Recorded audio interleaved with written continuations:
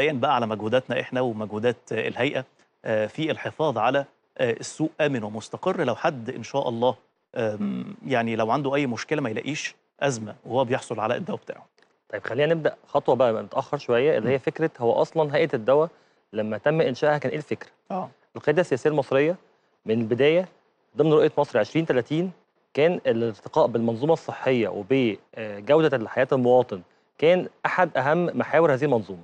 تمام في الإطار ده كان إنشاء هيئة الدواء بقانون 151 2019 الخاص بانشاء الهيئة وكان معانا في نفس القانون هيئة الشراء الموحد. مم. إيه هدف إنشاء هيئة الدواء؟ إن يكون عندي هيئة مسؤولة عن تنظيم تسجيل وتداول والرقابة على إيه؟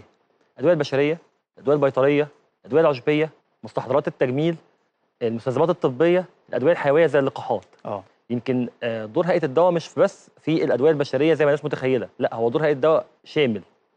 دور كبير وبياخد كل المراحل اللي بيعدي بيها الدواء منذ آه، إنشاء يعني فكرة الدواء حتى لحد ما يبقى في إيد المواطن. نعم.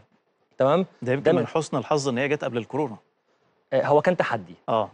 يعني آه، سبحان الله طبعا ده قدر من ربنا إن كان آه، اللائحة التنفيذية لهيئة الدواء كانت في شهر 2 2020 والكورونا كانت في 3 2020 بالظبط. فهو كان تحدي كبير بالنسبة لنا كهيئة دواء إن إحنا نقدر يعني في بداية إنشائنا نواجه تحدي العالم كله واجهه.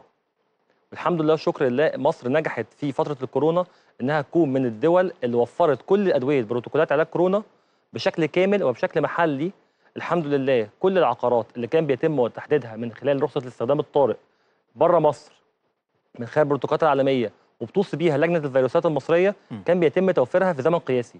يعني نذكر عقار ريميداسفير ده تم إنتاجه في مصر وتم تصديره خارجيا عقار فابي برافير كل الأدوية اللي دخلت في البروتوكولات الحمد لله والشكر آه. لله مصر نجحت فيها وكان آخرها حضرتك بتتكلم على أدوية كلنا جبناها لأن الكورونا ما سابتش حد الحقيقة فالادويه دي أسماء متداولة بالنسبة للناس. بالظبط كده آه وكان آخرها في شهر 12 2021 لما مصر كانت أول دولة في الشرق الأوسط وأفريقيا تنتج عقار الميلونو برافير اللي برضه المستخدم في علاج كورونا من. خلال أكثر من 14 شركة مصرية وده كان يعني يعتبر سبق لأن إحنا كنا يمكن خامس دولة على مستوى العالم فهي الفكرة ان هيئه الدواء واجهت التحدي والتحدي ده آه الحمد لله والشكر لله نقدر نقول على أرقام مهمة جدا حصلت أثناءه. مصر وفرت في السنتين بتوع علاج كورونا أكثر من 230 مليون عبوة دواء استخدمت في بروتوكولات. تمام؟ ده بخلاف اللقاحات. بخلاف اللقاحات. آه. ال 230 مليون علبة دواء دول لو ما كانوش اتوفروا من خلال الصناع المحليين كنا هنكلف مصر. ومع ثبات كل حاجة ومع ثبات سعر الدولار فاتورة استيراديه تقدر ب 2 مليار دولار. إن لم تكن الحاجات دي موجودة. إن لم تكن الحاجات دي موجودة. آه. فالحمد لله والشكر لله. آه كان تحدي لكن الحمد لله بتوجيه القيادة السياسية وبدعمها لينا قدرنا إن إحنا نشتغل بشكل قوي جدا مع الصناع المحليين ونوفر الأدوية دي.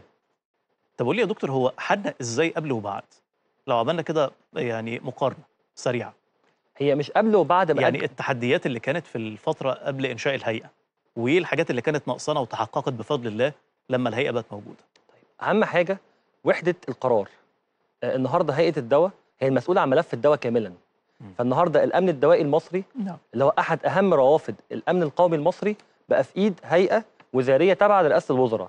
فالقرار بيتاخد بشكل يستجيب للسوق ويستجيب لحاجة المرضى ويستجيب للمتغيرات العالمية. يعني التبعيه هنا فرقت. أكيد. آه. دي نقطة. النقطة الثانية إن بقى في تناسق وبقى في هارمونايزيشن بين كل الجهات العاملة فيما يخص ملف الدواء. سواء فيما يخص تسجيل الدواء المراقبة على الأسواق الصيدليات التوزيع آه، توفير الأدوية آه، كل حاجة تخص الدواء بقت في تبع هيئة واحدة.